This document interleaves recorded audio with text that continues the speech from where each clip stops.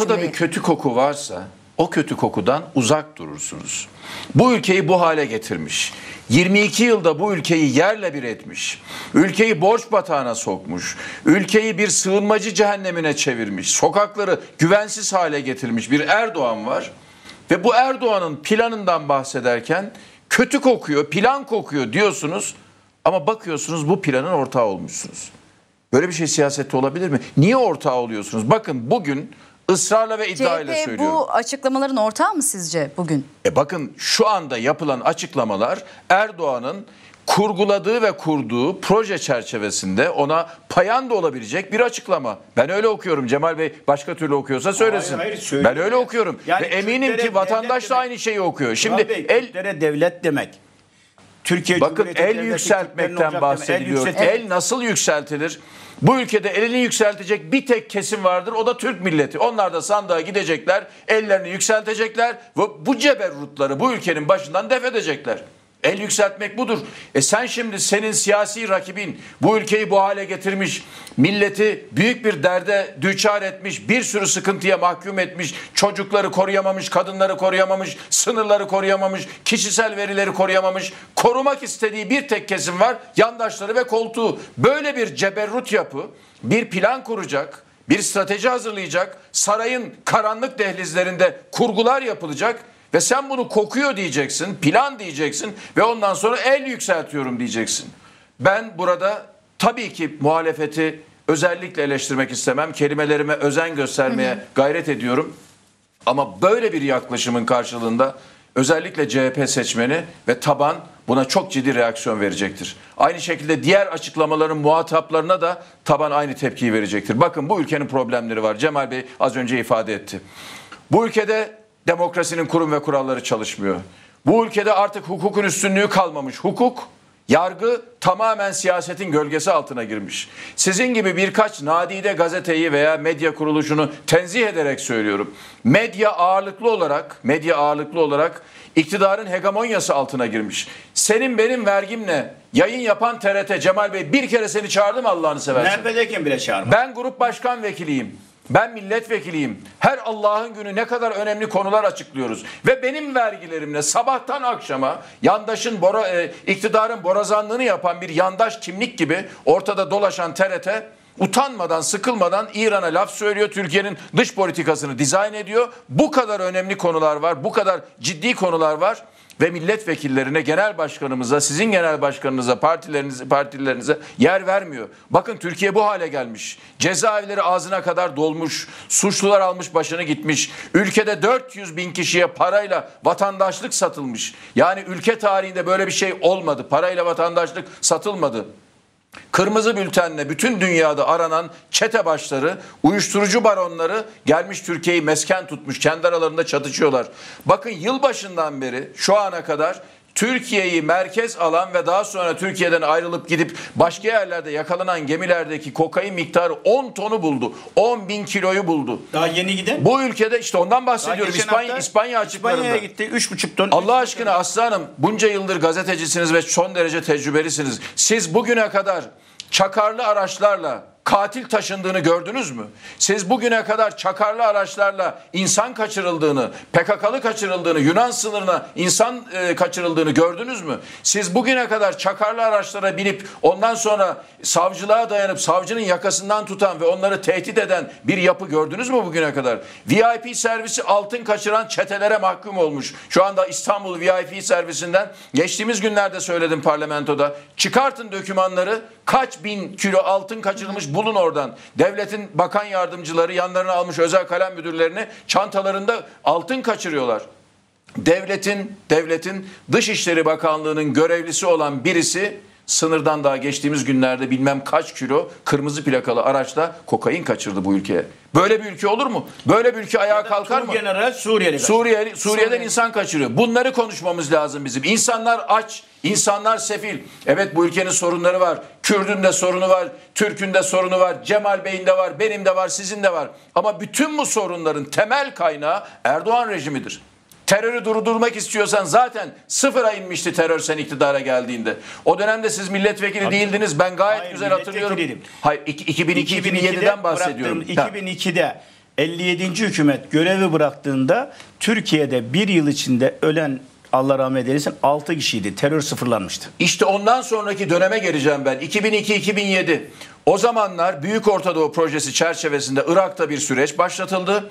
Yine terör hortladı. Yine PKK hortlatıldı. Ben o zaman feryat ettim. Bas bas bağırdım. Kayıtlarımızda vardır. Amerika Irak'ın kuzeyindeki PKK terör örgütüne silah yardımı yapıyor dedim.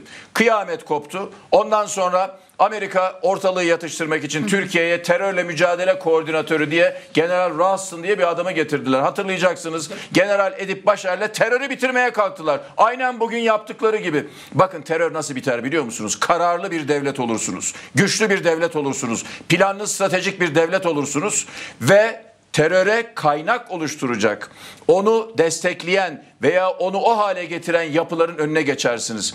Aynı zamanda bu ülkenin bütün ekonomik problemlerini çözersiniz. Çalmazsınız, çırpmazsınız. Demokratik sorunlarını çözersiniz. Hukuki problemlerini çözersiniz. Şeffaf bir denetim uygularsınız ve milleti birbirine düşürmezsiniz. Millet arasına nifak tohumları sokmazsınız. Az önce Cemal Bey ifade etti. Yani Erdoğan kendi yandaşlarını devlet kademelerini alırken mülakat uygulamazken ayrım mı yapıyor? Kürt'e de aynısını yapıyor, Türkiye de aynısını yapıyor. Bu ülkenin çocukları ölürken ayrım mı oluyor? Kürdün çocuğu da ölüyor, Türk'ün çocuğu da ölüyor.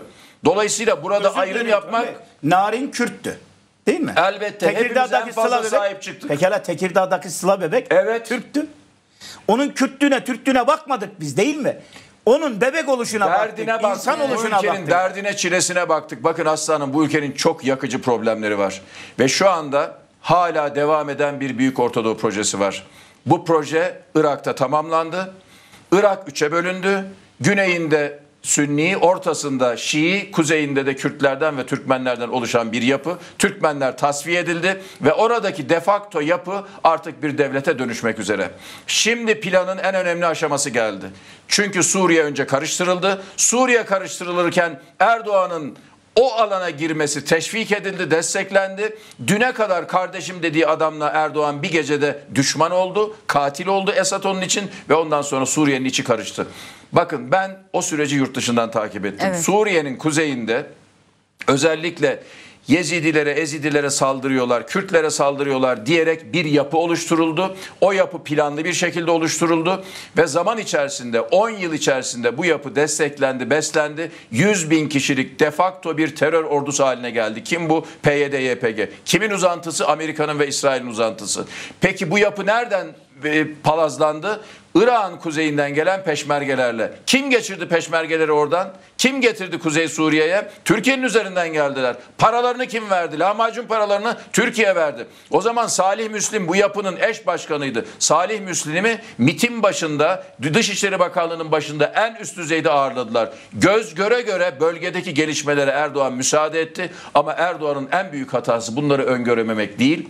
Bunlara zemin hazırlamak değil. Ülkenin içerisinde zerre kadar kaygı taşımadan bu ülkeyi yoksulluğa, sefalete, açlığa teslim etmek ve bu ülkeyi en az 10 milyonun üzerindeki bir sığınmacı belasına düçar etmektir. Şimdi Erdoğan çaresiz ve elini açmış aman Yahudi tefecilerden para gelsin de bir nefes alayım. Seçim öncesi biraz emeklilere 3-5 kuruş para vereyim. O aldığım borçlarla zaten batırdım ülkeyi. Yandaşları zengin ettim. Yahudi te- tefecileri zengin ettim. Biraz para bulayım.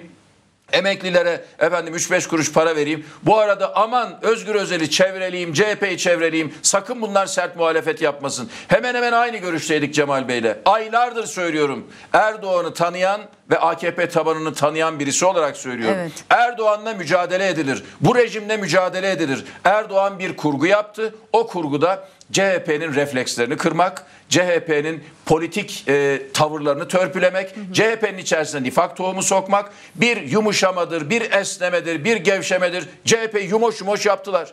CHP'nin bugün sahalarda gümbür gümbür muhalefet yapması lazım. Cemal Bey'in partisinin pozisyonu belli. Biz meclise grubu olan bir parti olarak canla başla uğraşıyoruz. Ekranlarda, meydanlarda. Daha evveli gün ben İstanbul'daydım. Neredeydim İstanbul'da? Bu lanet olası hastaneye gittim. Hastanenin içerisine girdim. Oradan milletimize mesaj verdim. Olayları anlatmaya çalıştım.